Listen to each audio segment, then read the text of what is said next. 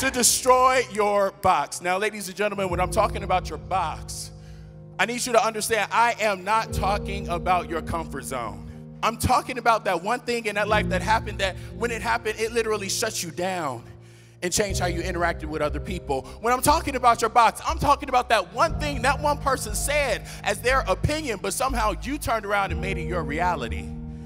So we're sitting at the table, it's me, my sister, my mom, my grandmother, my grandfather, my two aunts sitting across the table, and there's a spot open, and I'm sitting there, I'm eating, and I'm eating, and all of a sudden I stopped and I looked up and I looked around and I said, Where's my dad? My grandmother, she stops.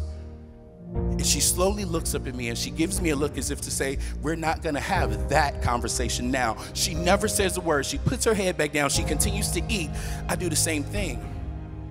I go back to eating, and all of a sudden, the macaroni and cheese doesn't taste the same. The ham on the bone, even my grandmama's homemade cornbread doesn't taste right because I have this burning question in the back of my head. And before I realize it, I get so upset, I look up and I shout out, Where's my dad?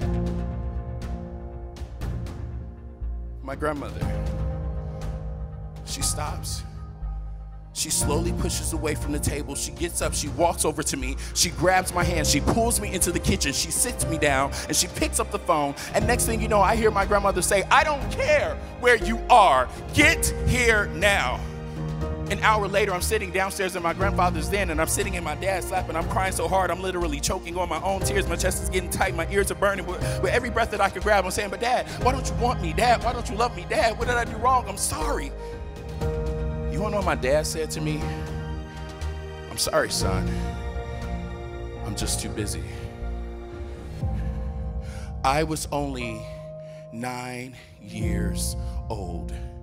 And it was in that moment when my box got built. And this was my box. I'm not good enough. I'm not wanted. I'm not loved. 13 years of my life, I held on to that grudge against my dad.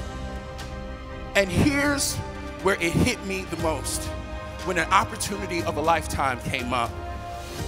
I had made it to one of the final auditions for a television show called In Living Color.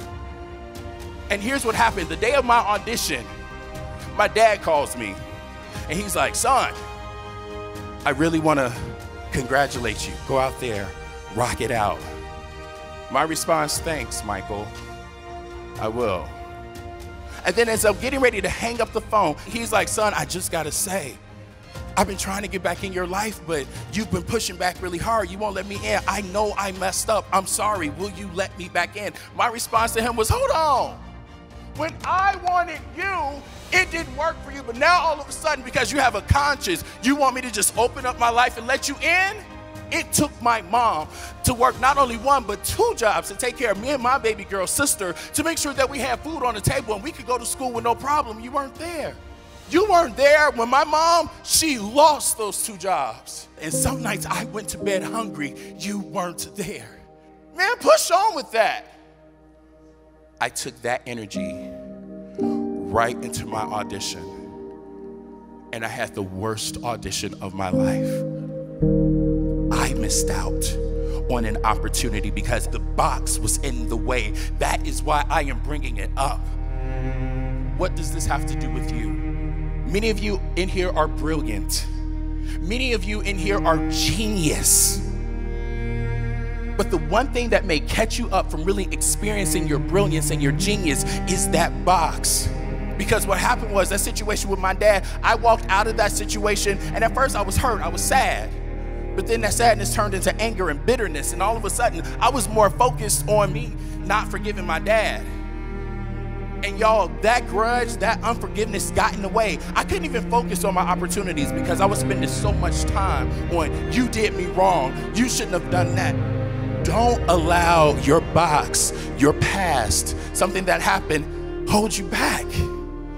You have to forgive the person that had you create that box. Now, some of y'all are like, why are we talking about forgiveness? Because, ladies and gentlemen, if you're holding on to a grudge longer than five minutes, you've held on way too long. So, those are the three steps, ladies and gentlemen. Number one, acknowledge that there is a box. Number two, forgive the person that had you created. Number three, forgive yourself. And I'm not saying it because it sounds good. I'm saying it because that's what I lived. I finally forgave my dad. And now me and my dad, we have the most amazing relationship right now.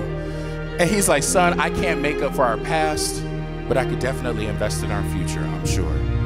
on the outside, I'm like, oh, dad, thanks. On the inside, I'm like, ah. Ladies and gentlemen, things have happened in your past. Don't allow that to hold back your future because you do deserve the opportunity.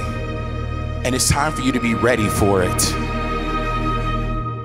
Ladies and gentlemen, there's two types of limitation. Limitation number one is the limitation that other people put on you. Let me talk about limitation number two. And limitation number two is the most dangerous limitation. Ladies and gentlemen, limitation number two is the limitation that we tend to put on ourselves.